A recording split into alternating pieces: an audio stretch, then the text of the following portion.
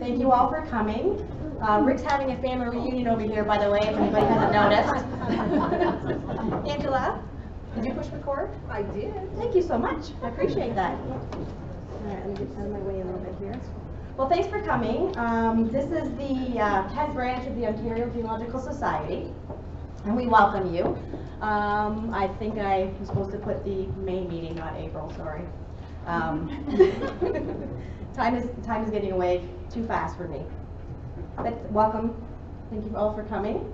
Um, we do record our meetings. We have a, um, a lot of members who don't live close by, so they actually go to our YouTube channel afterwards and they can rewatch it. Or, you know, if Rick gives you some really good information or websites and you want to go back and just check that again, you can go to our web YouTube channel and, and rewatch it. Here. So, as I said, we're the uh, branch of the Ontario Genealogical Society. Um, OGS has been preserving family history for over 50 years. There's branches all across Ontario. They're the largest ge- genealogical society in Canada. And we are the Kent branch, so we mainly focus on Kent County research. Um, we have a family history library, we do mentoring and assistance, we have a newsletter, a great Facebook group, a website, uh, monthly presentations just like this. Um, we have a fantastic resource library of our own. Um, it's in the second, on the second floor at the Chatham Kent Public Library. It's open from Wednesday, Wednesday to Saturday, 1 to 5. And there is a wealth of information there. So if you've never been up, definitely stop by and uh, check it out. Um, this is our Kent Branch website. Email us if you have any questions or would like to know any, any other information. And we also have a great Facebook group that's very, very active. Um, a few upcoming events. Um, on Monday night, this Monday coming up, the Essex branch, which is located in Windsor, um, their presentation is the Fille du Roi, um, the King's Daughters, and house, they have their meetings at the Windsor Public Library. Um, and chances are there's going to be a few of us from Chatham going, so if anybody's interested, just talk to me afterwards, and we can uh, carpool if you're interested. The Kent Historical Society is having their meeting um, May 21st. And Stan Yor, uh, most people know him, he's a historian and uh, a, a classic car, he's passionate about classic cars, he quite often talks about the Gray-Dorts. Um, he's going to be giving a presentation about the Chatham car. Don't know what that is, we'll have to go and see. Their meetings are held at the Cultural Center in Studio One. And then our next few upcoming meetings, uh, June 14th, we'll be discussing the Czechs in Kent County. Um, and then September 13th, the French presence in the Detroit River, very early French. Um, so we're looking forward to these two presentations. They're very um, delving into some different um, nationalities um, and connections. So definitely join us if you if you're able to.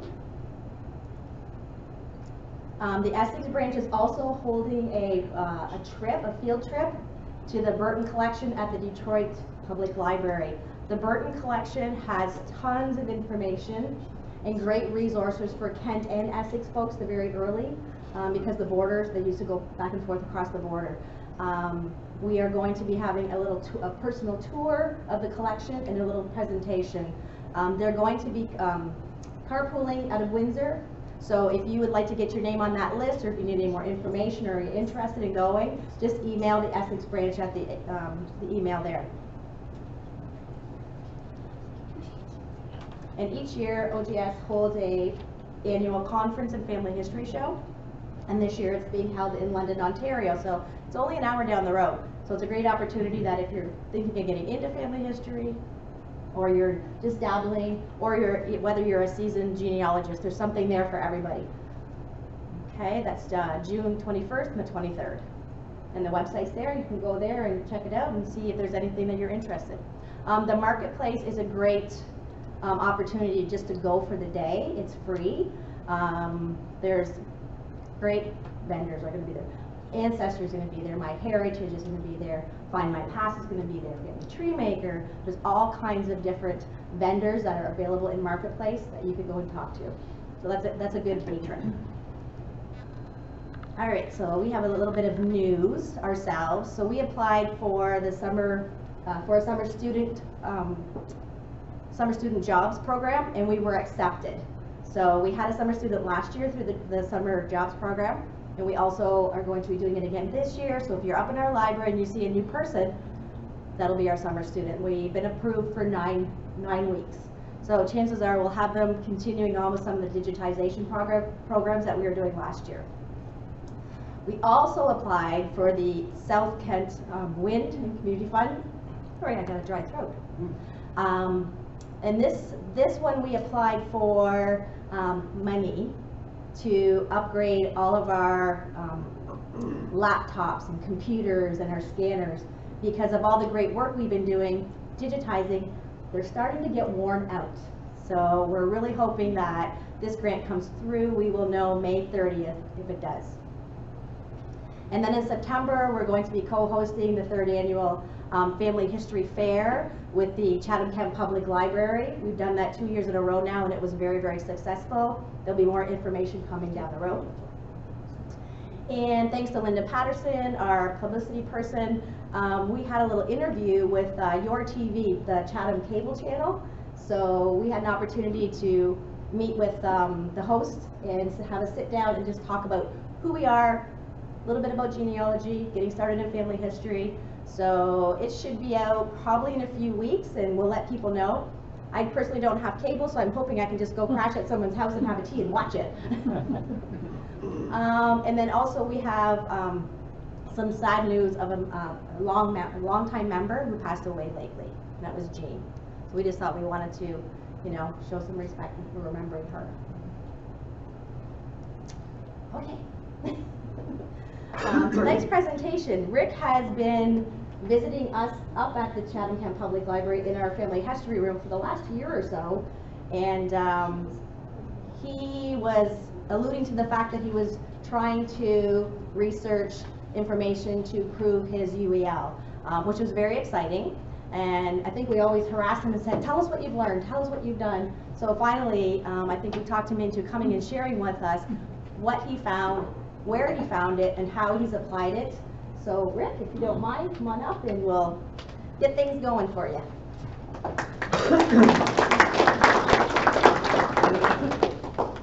Thank you, Cindy. And, uh, Yes, Okay? so, uh, as she says, I'm going to talk about the various methods I've used to track down certain branches of my family tree.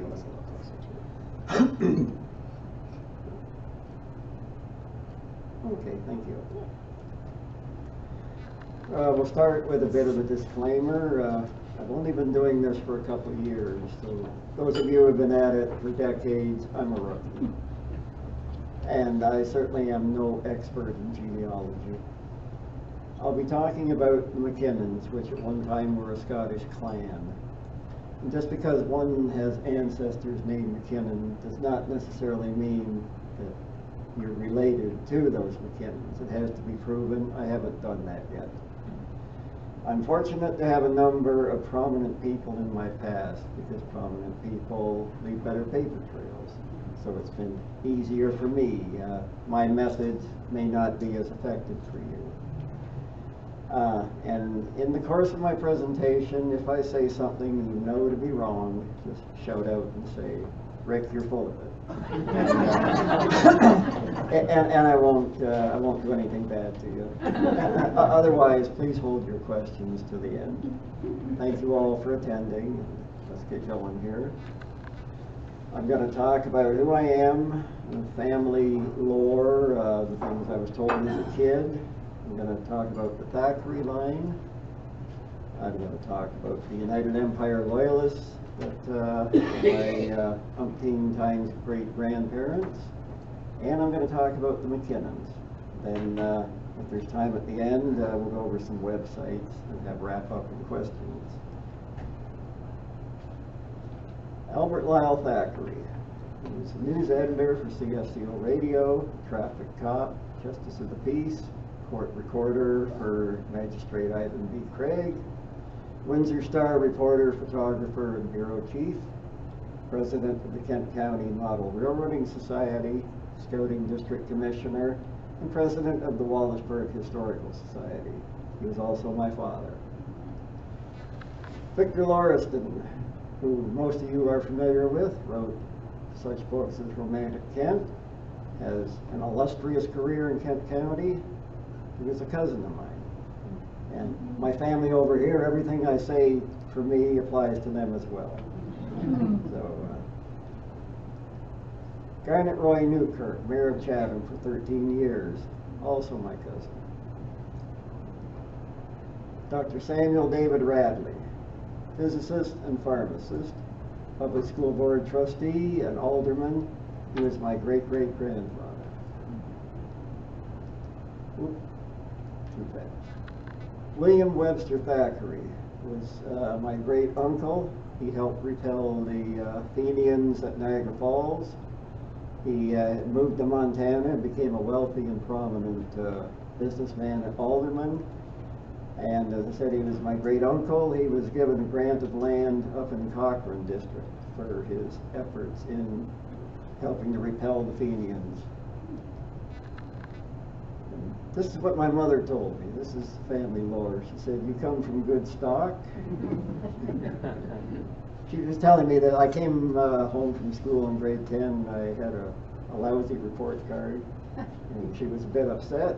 she said, uh, "You come from good stock. You're related to William Makepeace Thackeray, the author. You're related to the Radleys and the Parks. Victor Lauriston was born William Edward Park. Because John Bell Thackeray married Mary Ellen Newkirk, you were related to some of the pioneers of Kent County, the Newkirks and the Dolsons. At that time, I didn't know who or what a Dolson was. You're a McKinnon and related to Scottish kings. Donald McKinnon came from up near Toronto. And he was a bad man and he uh, abandoned my uh, grandmother and great grandmother. And she said no one ever knew what became of him, so tracing him down was a bit of a challenge. We'll get into that. And when I was in school, grade six, we studied the United Empire Loyalists, and my teacher uh, singled me out and said, uh, I think you in particular have some Loyalist ancestors. Of course, I had no idea really what he was talking about. Amazing how things change when you get older. Let's talk about the Thackeray's, how newspapers and some online searching helped lead to an author. Uh, when I first started this, I uh, was relying solely on the family trees in Ancestry.ca, and I was blindly following the hints, and before I knew it, I was a Tudor, a Stewart, and a Plantagenet. And uh, it, was a, it was a rookie mistake. I was brand new, and no one said, don't follow these hints. So anyhow, I got stuck very quickly.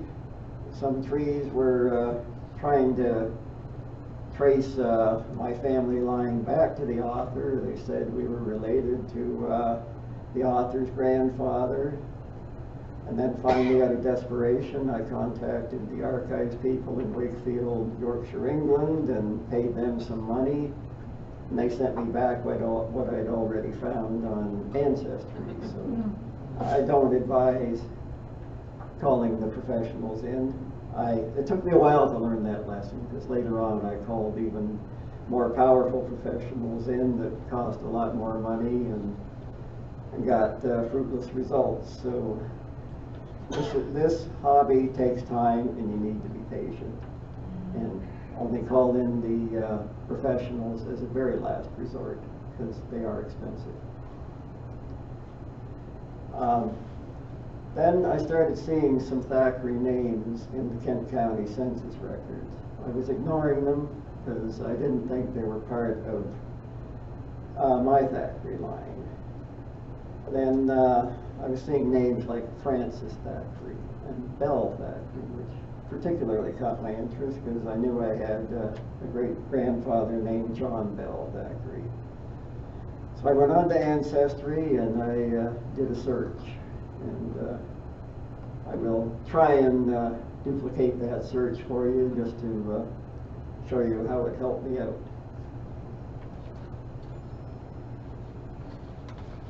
Okay.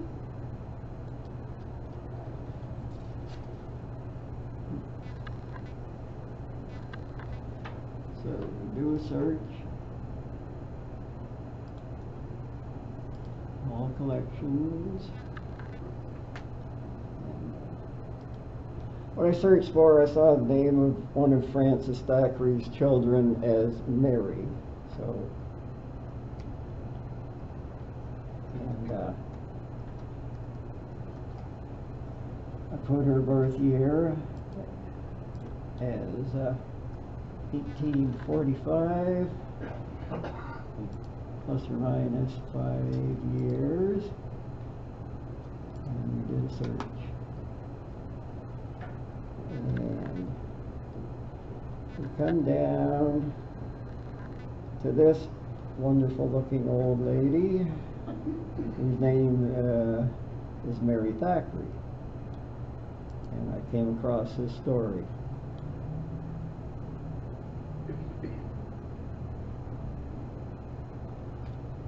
Mary Thackeray was born in Garton, England, March 13, 1845, and died in Grinnell, Iowa. She was the daughter of Francis Thackeray. The family came to America, locating in Chatham, Canada. And I had my connection. I now knew that my Thackeray line had come from Garton on the Wolds, England. Or at least I strongly suspected it. So, we will uh, come out of here. And Go back to the presentation. So then I searched the, uh, the Ontario uh, Name Index database at the uh, OGS site, uh, website, uh, this the Ontario Genealogical website. And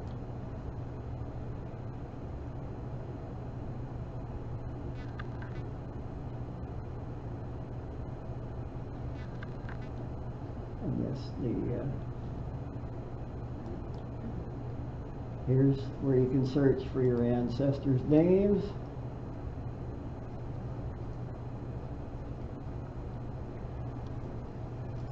And up comes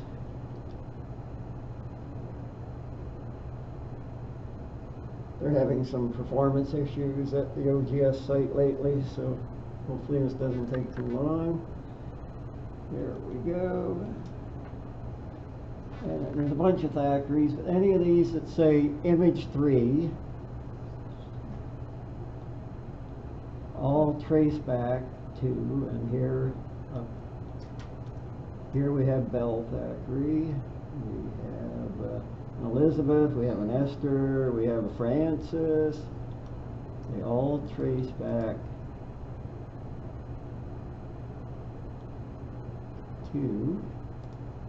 right.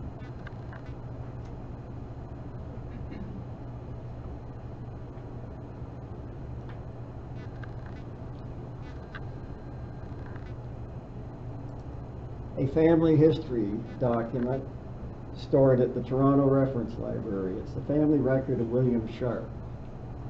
And uh, William Sharp and Jane Thackeray married in Garton, England uh, in the 18th century, then came to Canada.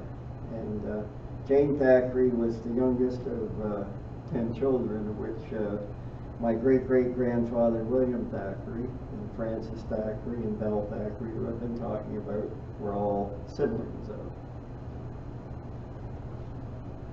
So I've now had a family, and I had them located in England, and then it was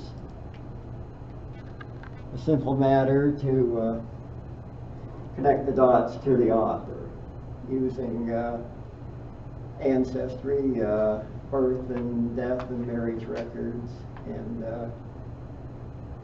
uh, and as I say, I have connected the dots to William Makepeace Thackeray. Uh, I need some conclusive paper, uh, which uh, I would probably uh, have to go to England to find, but I have plenty of circumstantial evidence that I am related to William Makepeace Thackeray.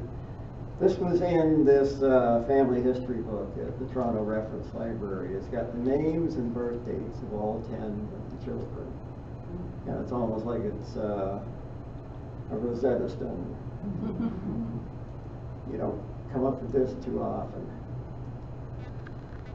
So my circumstantial evidence as a child, I was told, I was always told I was related to him. The Anaconda, Montana, Montana newspaper stated William Webster Thackeray was a cousin twice removed. The Park Family Records Victor Lauriston stuff, prepared uh, by Beatrice Park, state John Bell Thackeray is a cousin. The Grinnell, Iowa Herald, the obituary record for Mary Stickle, who was born Thackeray, says she's a second cousin. So this makes me a fourth cousin, four times removed, so I'm not gonna be pounding on publishers' doors for royalties anytime soon. But here's Anaconda Standard, right at the bottom, W. W. Thackeray, a cousin twice removed from the great novelist, is running a restaurant at Yantee in the state. There's Beatrice Nora Park, they, they, uh, had some memoirs on the Thackeray's, cause, uh, her mother, uh, yes, her, uh, grandmother was a Thackeray, so. Um, and it says, uh, he had a cousin, William Nick Makepeace Thackeray of London, England, and it goes on. And here's this record we were looking for Mary Stickle on ancestry. Uh, right at the bottom it says it is a matter of much interest to all to learn that Mrs. Stickle was a second cousin of William Makepeace Thackeray, the famous English author. So that's about enough for me to say that, yeah, it's not a, a close relationship, but it's there. So, and then just a bit on uh, my great great grandfather William M. Thackeray. I have no idea what the M stands for. It's how it's written on his death certificate. But he uh, got married in Centerville, Michigan in 1836. He bought lot uh, 86 up here uh, at the west end of town. He lived right beside uh, Cornelius Newkirk. Cornelius, that Cornelius Newkirk was born in Marbletown, New York. So that, keep that in mind, it's an interesting connection later on. So from 1840 to 1842, he was a county uh, coroner in St. Joseph County. That's in the history of St. Joseph County. He moved to Chatham in 1842. He was a saddler, a cabinet maker, furniture dealer, and finally a farmer. He's one of the first leaders of the Park Street Church Choir, and he played the organ. He farmed Lot 15, Concession 6 is Raleigh Township. He had two brothers and seven sisters. There's his marriage record. That comes from Family Search. May 1st, 1836, he married Anne Brown. This newspaper article was uh, one of the first articles my father put into the Windsor Star when he became a reporter photographer. And it's uh, talking about the uh, Park Street United Church. And it says, uh, one of the earliest choir leaders of the church is William Thackeray, great grandfather of this reporter. I thought that was kind of neat. And this is where they lived in Raleigh Township, uh, lot uh, 15, concession 6. Up here is Peter James Newkirk. John Bell Newkirk uh, lived pretty close to the lady he was going to marry. So.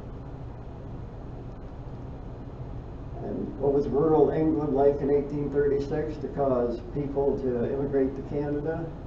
The enclosure system was going in vogue. This is where uh, wealthy aristocrats were petitioning Parliament to grant them huge tracts of land. And they would enclose them and get the people to work the land and pay the people money. So the average person had no hope of ever owning their own land. Uh, most people were agricultural laborers. The, uh, the census record for uh, the father of these 10 children uh, says he was an ag lab, which is short for agricultural laborer. The cities were rife with poverty, as described by Charles Dickens, and but rural people were still flocking to them.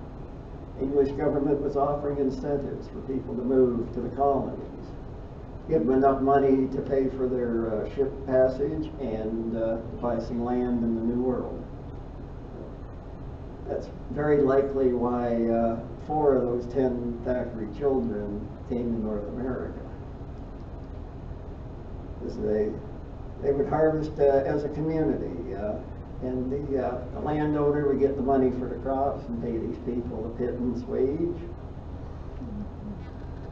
St. Joseph's County, Michigan, 1836. The Erie Canal was completed in 1825, so it was reasonably easy to get to Centerville, Michigan, St. Joseph County. There was a road from Detroit to Chicago, and there was a railroad that passed through White Pigeon. St. Joseph County uh, accounted for the second highest volume of land sales in Michigan in the mid-1830s. And White Pigeon had the land registry office for the county. It's a historical building and still stands today.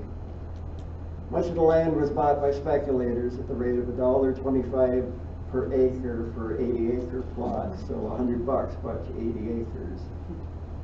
And then they would sell it at a premium.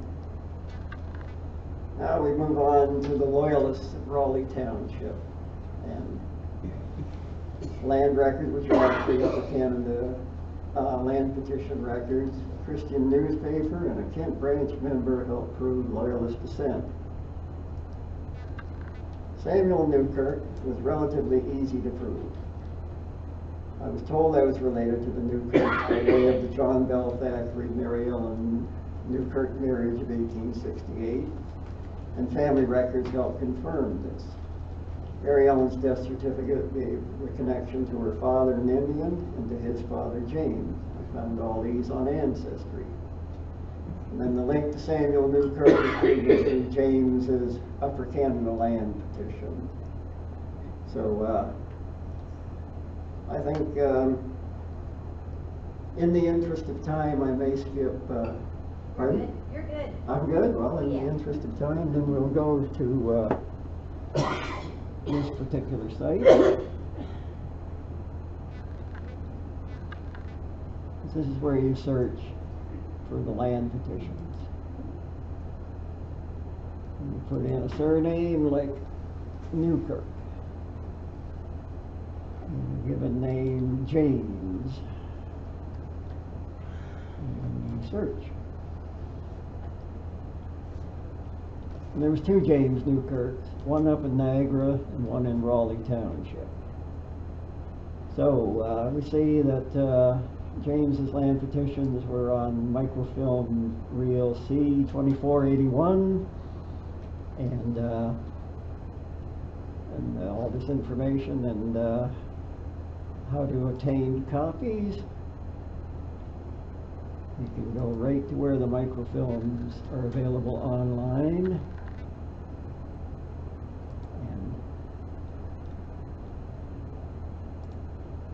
Look for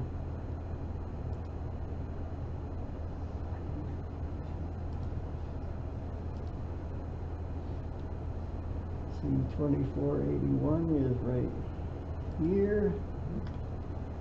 And I happen to know, because I've been here plenty of times, that, uh, James Newkirk's land petitions start here. And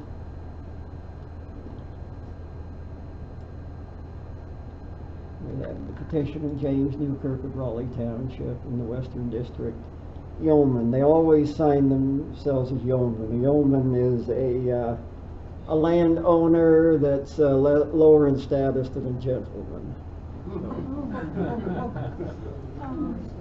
So I had no gentlemen, and they were all yeomen.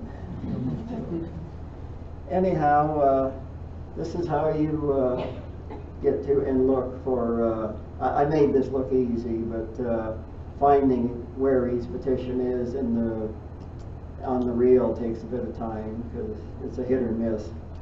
So when you do find them, make sure you record the numbers of the images because if you ever have to go back or if you want to copy them down. But anyhow, this petition talks about how his late father was a member of Butler's Rangers and had been killed before he made the uh, United Empire Loyalist list. Could they add him to the list? And uh, it's funny because I found Samuel Newkirk on the UE list of the land boards for Hesse County all over the place. But I guess somehow that information never made its way to the executive council. Once the land boards were abolished and the executive council took over the task of divvying out the land.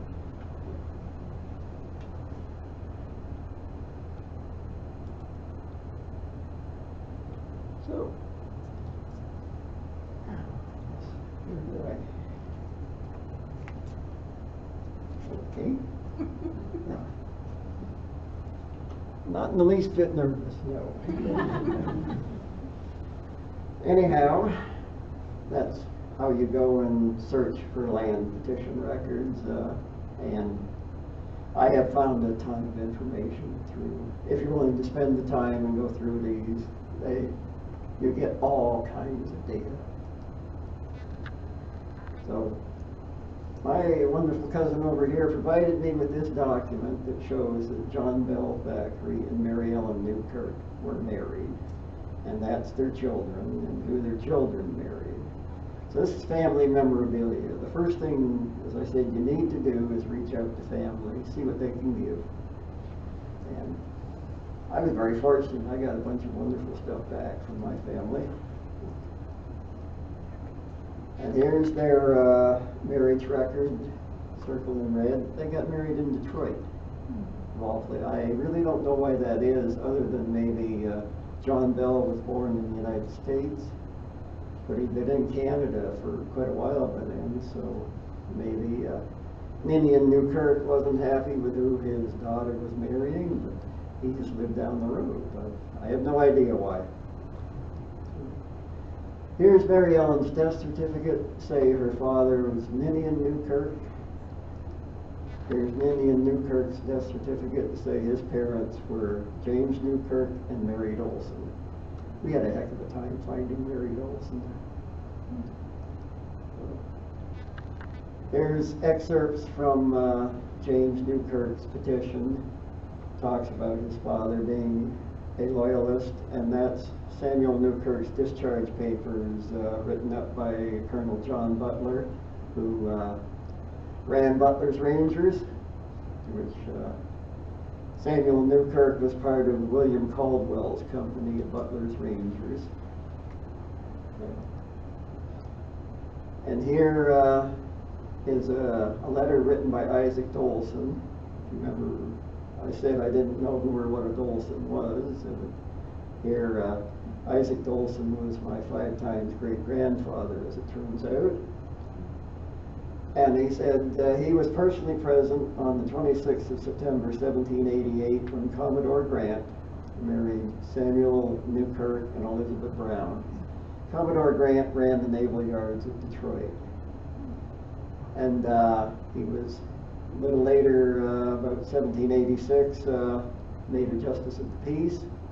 And he was also a member of the uh, Hesse Land Board.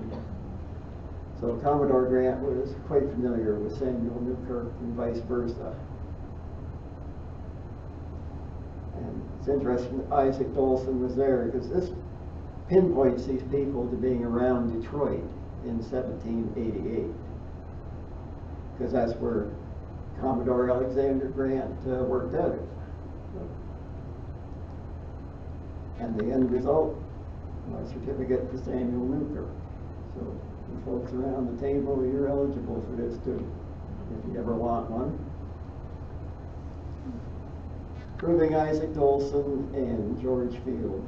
Ninian Newkirk's death certificate stated that Mary Dolson was uh, his mother and James Newkirk his father. As I said, finding Mary Dolson was a challenge. Isaac Dolson had a daughter named Mary, but she would have been 10 years older than James, and her Upper Canada land petition record states she was married to John Dawsey. And that fact bears up. It's also in the uh, Raleigh Township land records. I was stuck, I was stuck for months and months. I even talked to people like Linda Urquhart, who has researched the Dolsons extensively. She's from the Windsor, University of Windsor. She's uh, done a whole Dolson genealogy. She's a very nice lady. Had the opportunity to meet her last year. Then I got anxious and I called in the pro genealogist to find both Mary Dolson and to help me with my McKinnon line. Don't get impatient. Anyhow, uh, the next slide, you'll see on the next slide the definitive piece of evidence that Colleen LeBay of this branch found for me. And it turns out that we're co- we're cousins because Colleen LeBay was born a Dolson. And, uh, so I already connected the other dots by proving Samuel Newkirk. Incidentally, I was the first person to prove lineage, lineage to Samuel Newkirk, so they were quite excited down at uh, the Bicentennial Group of the United Empire Loyalist Association of Canada. Interestingly, the, the pro-genealogists at Ancestry uh, said, well, when uh, they couldn't find Mary Dolson, they had identified an expert, Colleen. And I say, well, that's wonderful, she's my cousin, she's already found the proof, and uh, thank you, no, I don't want your help anymore. And it's a two-for-one deal, because Isaac Dolson was married to George Field's daughter, Mary, so there's another Mary Dolson. You can see the challenge is already in trying to find Mary Dolson. But here's the piece of evidence from the Christian Guardian death records. Newkirk, Mrs., wife of James Newkirk and daughter of Daniel and Abigail Dolson, died recently at Chatham. Daniel Dolson was the son of Isaac Dolson, and Abigail Colburn was his wife. And that nailed it down. I said, that's it. So it's another one you guys are eligible for. So this is from an excerpt from the historical notes on the Providence United Church, which is based in Raleigh. And here's uh, Mary Dolson sitting right here where she's always been, a few months before she died. Here's her husband, James.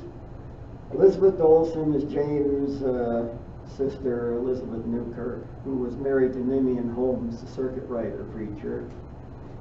Ninian Holmes died in 1829, and uh, Elizabeth Dolson married Daniel Dolson, my great great great great grandfather, in 1835, and he's sitting there. And uh, here's uh, Isaac Dolson's wife, Mary. She's sitting there. Amy Dolson married uh, Daniel Dolson Jr. Amy Dolson was Elizabeth Newkirk's daughter with Ninian Holmes. So, but an awful lot of research has gone into being able to sit here with a pointer and say this is who that is and that's who that is. But they've been there all the time. And the end result, Isaac Dolson and George Field. I just picked these up last Saturday. Who were the Loyalists?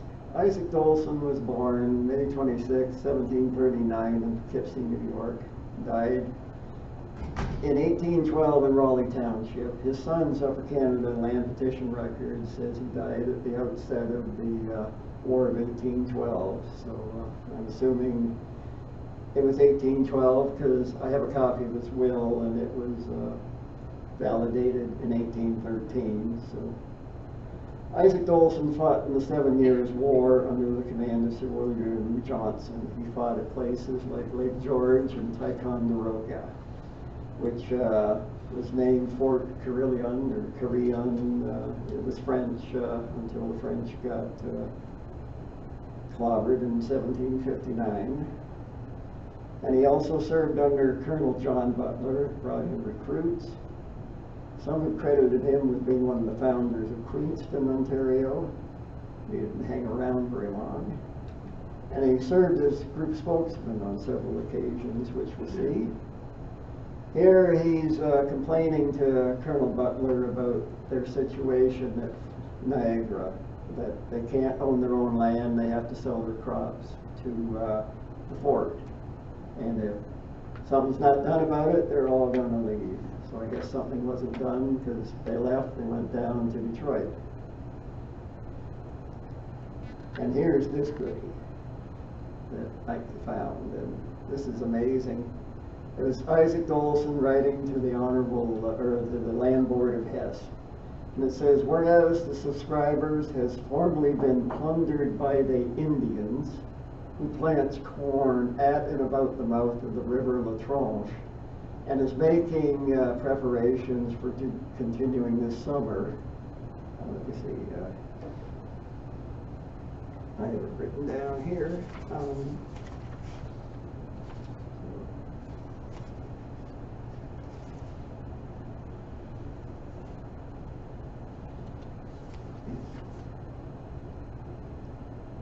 Yes. Making preparations for continuing this summer at the same place. The subscribers wanting to live in peace and quietness humbly praise that they Indians would be disposed of that liberty as government has bought and paid them for that land. What's interesting, this, the sign, the signatories of this note, uh, reads like a who's who of early uh, Raleigh Township. You have Isaac Dolson, Hezekiah Willcox, spelt with, uh, two L's, which indicates he was a Quaker. We have Gasper Brown. Over here, even though Romantic Kent said when uh, Samuel Newkirk was killed by a fallen tree, that uh, Elizabeth Newkirk went back to the Mohawk Valley. Elizabeth Newkirk, or Elizabeth Brown, is one of the signatories of this note. Why would she sign that if she was going back to the Mohawk Valley? The uh, government was handing out ration provisions, tools to these people until they could get their grubs, uh, until they could get, uh, become self-sufficient. You know, so it's not that she wasn't getting any supplies. Personally, I believe that Elizabeth Newkirk, or Elizabeth Brown, as she was born, is the daughter of Gasper Brown. And he was from North Carolina. And that's gonna be my fourth proof of a UEL. But it's a work in progress. This was an absolute treat to come across this. You know, you don't see this every day of the week. And here's Isaac Dolson talking about what I've already mentioned, how he fought in the Seven Years' War, uh, how he's a good uh, loyalist, came from uh, Pennsylvania where he lost all his land at the time of the American Revolution and uh, all this wonderful stuff. And would you please give me some land? I have all these kids. So the land board dutifully gave him uh, seven lots at 200 acres per lot. Three on the south side in Raleigh Township, four on the north side in Dover. George Field was born in 1721 in White Plains, New York, and died in 1785 Niagara, Ontario. Also a member of Butler's Rangers and married to Rebecca Haynes. He occupied the lot next to his son-in-law, Isaac Dolson, in Niagara around 1783. George uh, Field stayed up there, uh, the rest of them went south. Samuel Newkirk was born in 1761 in Ulster, New York, and also a member of Lieutenant Colonel John Butler's Rangers, Captain William Caldwell's company. He joined in 1780 and was discharged June 24, 1784. He was a loyalist, but his father, Garrett Newkirk, remained loyal to the American cause. So if I ever wanted to join Sons of the American Revolution, I have to link, but I really don't want to do that. They may, they may have long memories, want to tar and feather me. One of the battles that William Caldwell was in was the Battle of Blue Licks. It was the last battle the Loyalists won. Interestingly, one of the uh, fighters on the other side was someone named Daniel Boone. I remember watching that as a kid. Uh, I guess at that time I should have been cheering for the British. And here's literally what it was like. You know, the, they lost their lands, uh, and they had to just pull up stake and move to Canada. And that's the uh, the uniform of the Butler's Rangers. Uh, they had a bad rap because they were blamed for a couple of massacres. So that's even further reason, I can't see why Elizabeth Brown would go back to upstate New York with the reputation that Butler's Rangers and her husband was a Butler's Ranger had. Now we're gonna talk about the McKinnons. That's my great-grandmother Emma Radley, my grandmother uh, Annie Radley McKinnon. And, uh, and uh, first we'll go into family memorabilia, which uh, my cousins were able to provide me, and one of which was a note found in an envelope. And it talks about, it was signed by the Reverend who married uh, Donald McKinnon and Emma Radley. And we also have a listing of Radley grandchildren, and uh, I got some portraits from another cousin. Wonderful. So here's another one of these. Uh, this is uh, Samuel David Radley and his wife and all their children, birth dates, dates they got married, dates they died. Emma's marriage date has been padded by one year compared to uh, what's on the official records. And if you see these two red dots, one is for a person named Chester Alfred Lister, who uh, uh, Emma's uh, sister uh, Eleanor married uh, Charles Edmund Lister. And the other is for the birth of Annie Radley McKinnon, my, uh, my grandmother, and it's been padded by one year, and that's been padded by one year. And that's interesting, because, uh, well, here's the letter, a note in the letter, it says, it certifies that on the twenty-second day of October eighteen eighty-five, the other page said eighteen eighty-six, I formed together in holy matrimony Donald A. W. McKinnon and Emma Radley, according to blah blah, the Reverend signed it. And, uh, so, uh, it's interesting that uh, whoever was writing down the dates for uh, the family, uh, would pad just those except when she realized that my grandmother was born in January of 1886. Emma Radley and Donald McKinnon were married in October of 1885. And Emma Radley's the daughter of a prominent Chatham citizen. Mm-hmm. And it becomes not so hard to figure out why someone would be interested in padding records. Well, the 1891 census shows Donald McKinnon, his wife Emma, mother Catherine, two sisters, Rebecca and Caroline, living in Wallaceburg. Then after that, he's completely gone from Canadian records to start showing up in American records. Remember, at the start, I said my mother told me no one knew where Donald McKinnon went. The records placed Donald McKinnon, his brother Albert, and Rebecca in Anaconda, Montana. Emma's not there.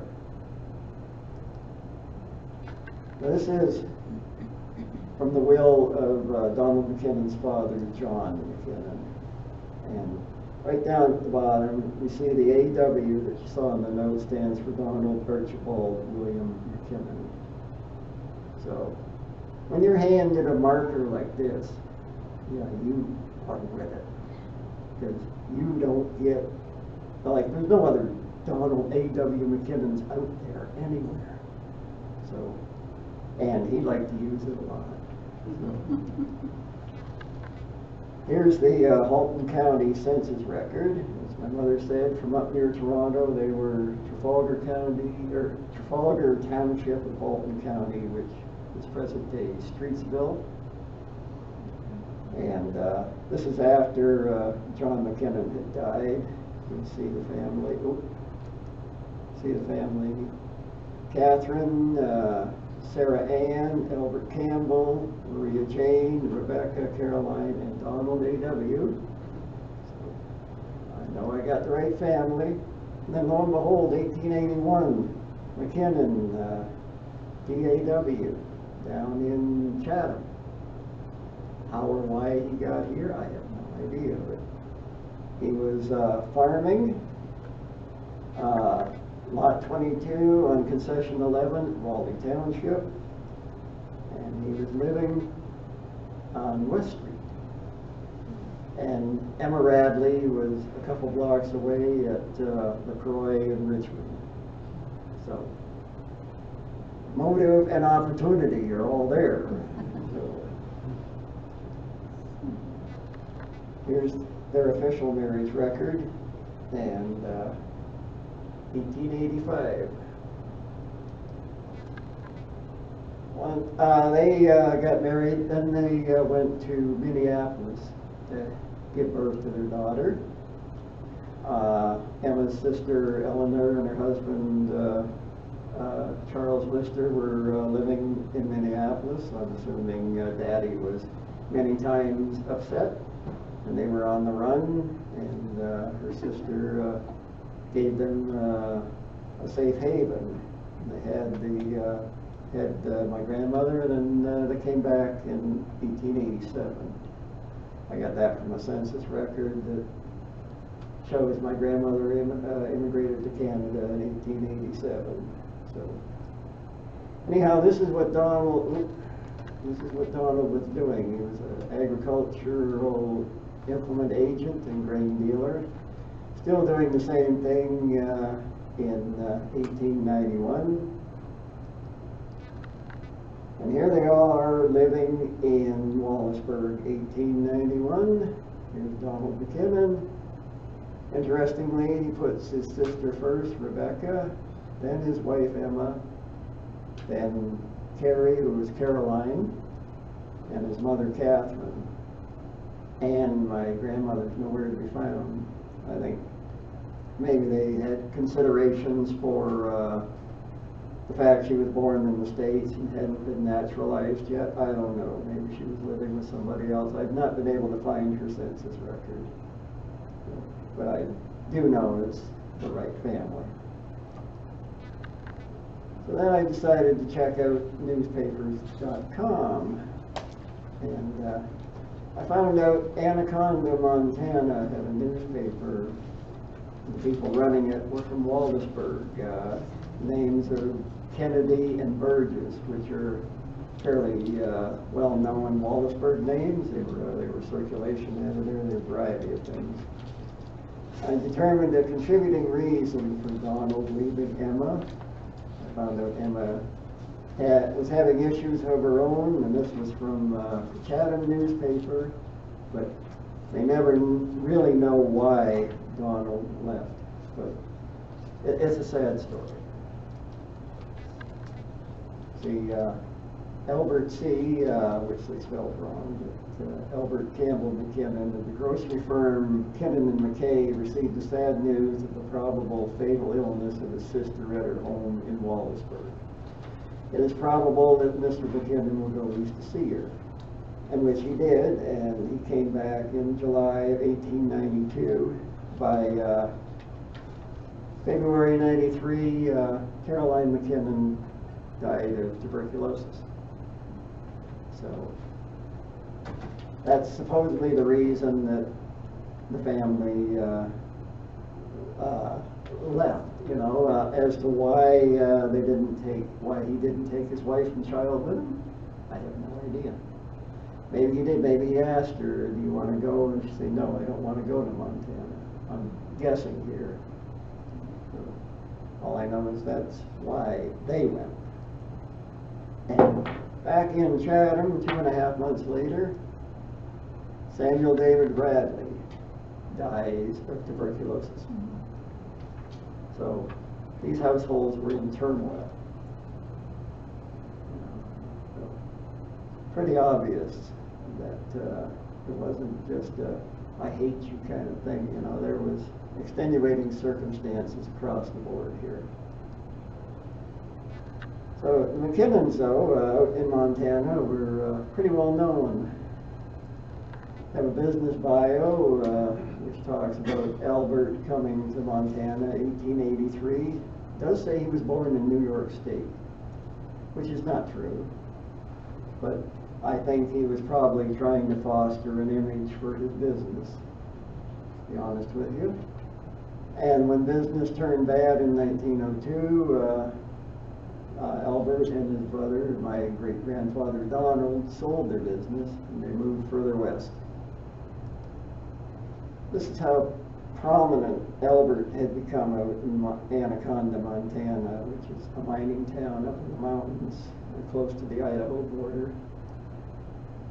He bought himself a bicycle and was practicing to ride it, and it makes the newspaper. So that that's prominent.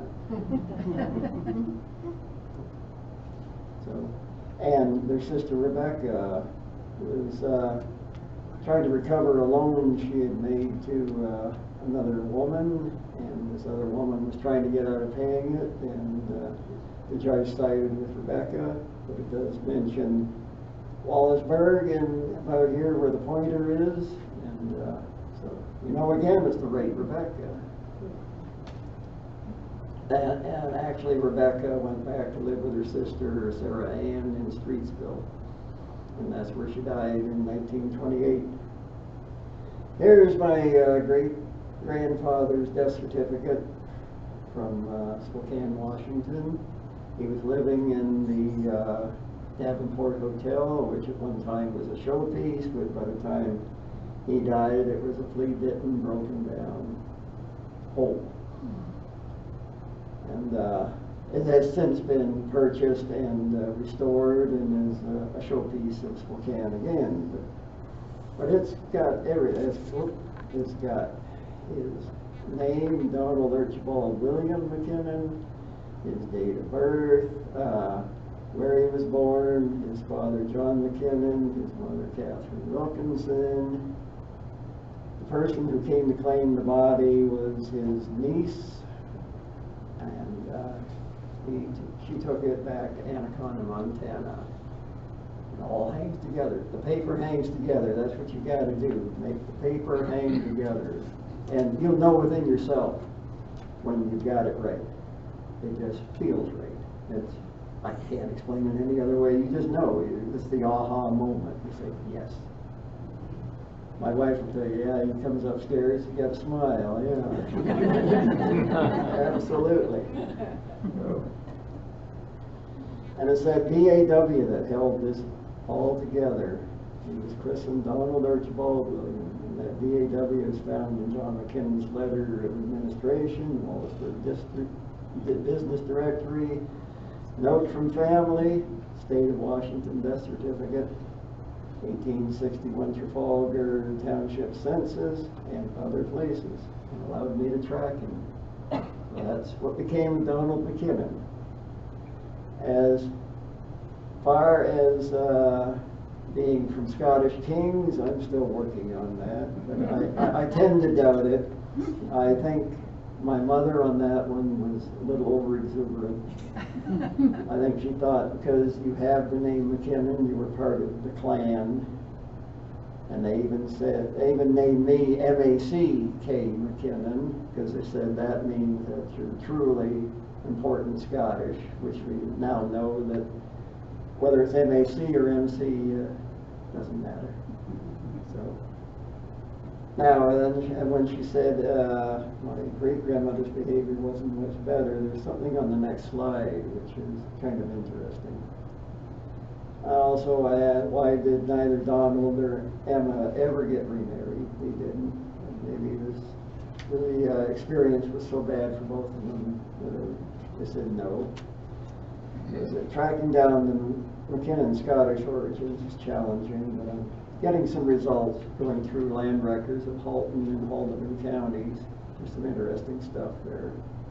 Where was Catherine Wilkinson from? You know, I paid uh, pro genealogists to find that, and they couldn't. And John McKinnon had a brother, Dugald Stewart McKinnon. I got that from John McKinnon's father's will that listed all his children. And it makes me wonder if there's a blood connection to the Stewarts. We all know the McKinnons supported the Stewarts in all three of the Jacobite uprisings, so it could just be they were commemorating the Stewarts, uh, memory-wise. So here's a marriage certificate for Chester Alfred Lister, that other person with the white, or the red dot that I said whose birth date was padded. It lists the mother as Emma Radley. When mother's supposed to be Eleanor Radley. Now, I personally, I think this is probably a mistake, but Emma Radley belonged to Christ Anglican Church here in town. And this marriage is taking place at a Methodist church, quite possibly Park Street. But I still think, you know, the family being well known, I think whoever wrote that down just made a mistake. Because uh, in 19, or 1898, Eleanor had a daughter, and she named the daughter Emma. So I think if Emma had slept with her husband, she wouldn't have done that. So, um, so I, but this threw me for a loop the first time I saw it, you know, because I always thought my grandmother was an only child. And here's this, you know, this has caused a lot of people on Ancestry to put down wrong information for Emma Radley. They think she's had more than one child. And here's Catherine Wilkinson. Died of bronchitis yesterday morning at the family residence, 214 Hickory Street, which is where the McKinnons lived in Anaconda, the mother of Albert C. and Donald and Rebecca McKinnon. She was born 76 years ago in Glasgow, Scotland. She was a lowlander. Her husband was a Highlander. Know, how times have changed, but that's supposedly a no-no to begin with. Secondly, the pro-genealogists are with Ancestry. Newspapers.com, where I got this from, is with Ancestry. Why couldn't they find this? So, another reason, only as a last resort, only if you're adopted or something, know, go to the professionals. Because they're human beings, and to their credit, I, I misled them in what I was asking for. So uh, I was a lot to blame for uh, them not being able to find out what I wanted. Really, I'm, I'm happy because I got the opportunity to find it. And, wow. So the learnings. Do not blindly follow ancestry treatments. 'Cause, As I said, you're gonna go in, in the wrong direction because it's the prominent, the nobility, uh, the aristocrats who leave the paper, you know, they're the names you're gonna come across. And they're often gonna be the same as the names of your relatives because people name their children after prominent people. Don't be in a rush. This takes time, use professionals only as a last resort. Establish a network and be prepared to help others if and when you're able. I have a number of people on Ancestry I communicate with. They're all searching the same things I am, and it helps, yeah. Because what you don't see, they might, or vice versa. Join. Join a genealogical society, you know, like Kent Genealogical Society. There, there's a good one. Or uh, join a Facebook group. I belong to uh, the uh, Scottish Genealogy Facebook group. I belong to the Clan McKinnon Society, the United Empire Loyalist Association of Canada. So, and these people, these places have the resources you need to find what you're looking for. You know, and just stick with it. It's going to take you a while. Research the history of the areas where your ancestors may have lived. It's helped me out immensely. It's going to help me prove Gaspar Brown as my five times great grandfather, understanding the history of the movement from Niagara down to Detroit.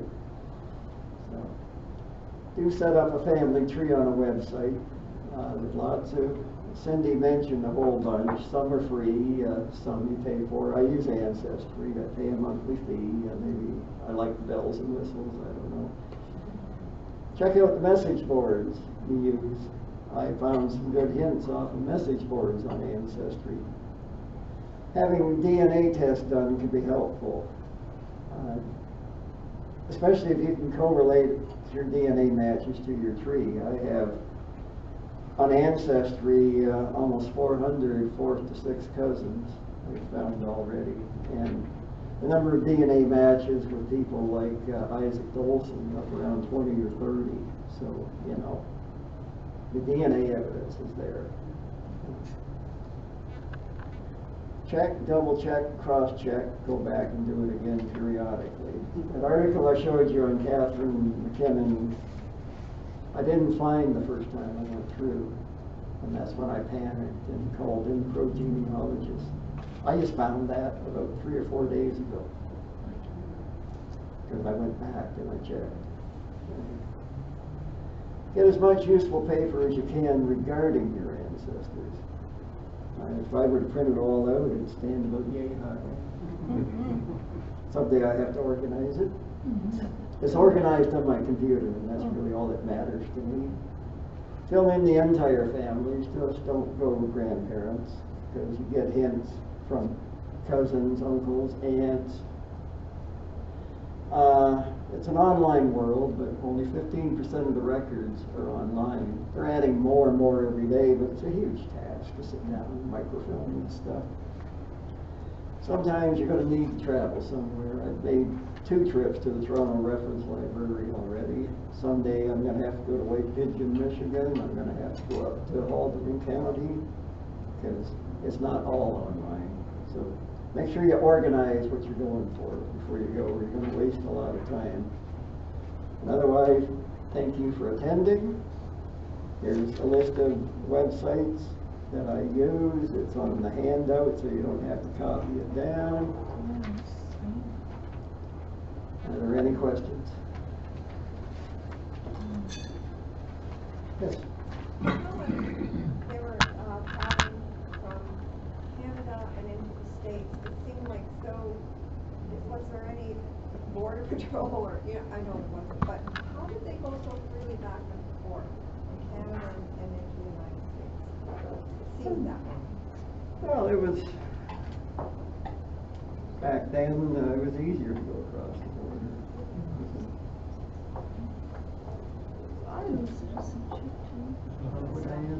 You know, in, in this day and age, yeah, the, the, e- e- every, everybody's worried about terrorists and, uh, bad people. There wasn't so much back then.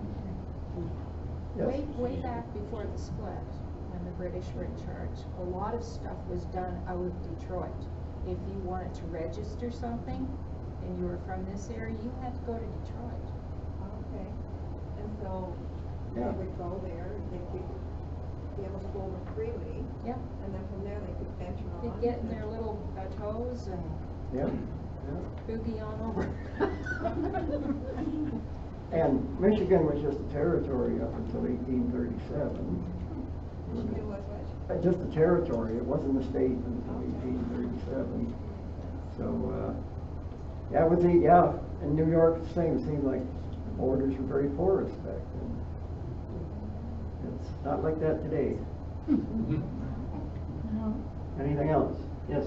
Was uh, Mayor Garnet Newkirk and his family, uh, which some, I went to school with some of his children.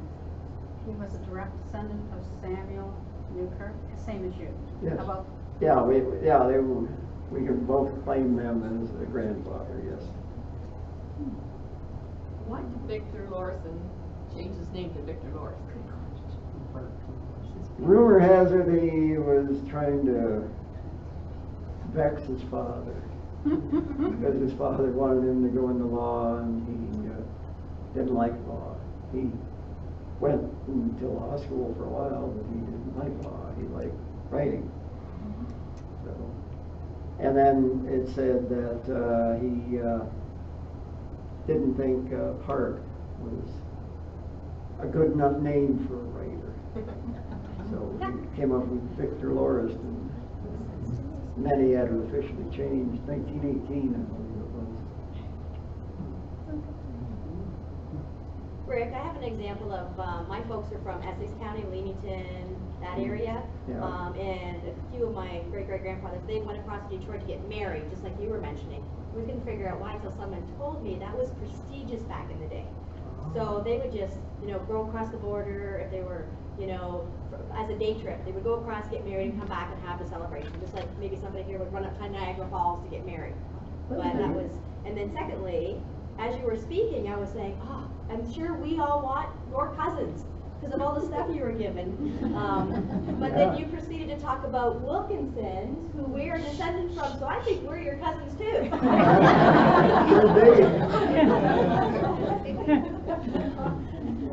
We got some So it sounds like they gave you an awful lot of really good stuff. I- You're lucky. I wouldn't be anywhere near as far along, I don't think, about it, yeah. And it's nice to see pictures of these people too. Yeah. Any other questions? Oh, Are you related to a Blair McKinnon from the Windsor Star? He he wrote for the Windsor Star Yeah, I know. Oh, ago, and you've lived in Glen. Blair McKinnon, interesting man. He was told my middle name McKinnon was uh, in honor of him, Oh. but he was just told that, and I, I was named after my grandmother. Yeah, very intelligent man. He was a poet, among other things. I have a copy of Treacle and Kelp uh, at home. Wonderful poet, actually.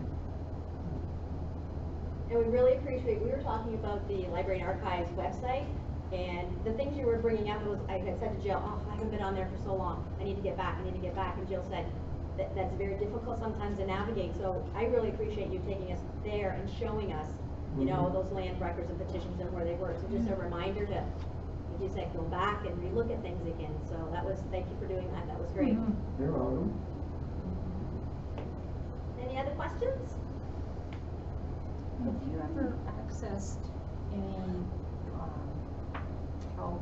from England or Scotland?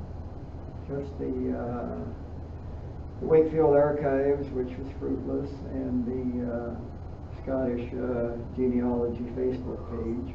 They can be a little harsh on there if uh, you kind of step out of line in their view, because there's a lot of Americans, and Americans have one notion, and the Scots have another. You know, it's kind of like going to Ireland. Uh, our idea of Ireland is leprechauns and shamrocks, but when you get there, no, that's the uh, Hong Kong Irish concept. Same difference. So, and that's where that's where, in fact, that disclaimer I put on the McKinnons, that's exactly where it came from. It's the Scottish genealogy website. It stood me back. I was one of those people who thought, if you have the name McKinnon, you were part of the clan. Just not necessarily so. Okay, well, on behalf of the branch, we have a little something for you, so thank you very much. That was really, really, really good, we really Thank you. appreciate it. Thank I'm you. sure Rick will stay around, if- or the family. If you want to continue the family reunion, so thank you so much for that, and hopefully we'll see everybody next month. So grab some snacks and some coffee, and you're welcome to hang out further.